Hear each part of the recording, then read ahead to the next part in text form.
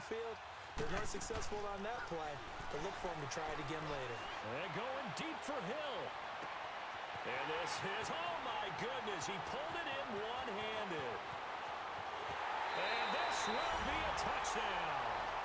Tyreek Hill, 99 yards. And that does it for this one. Pat yourself on the back. You just completed and dominated the match.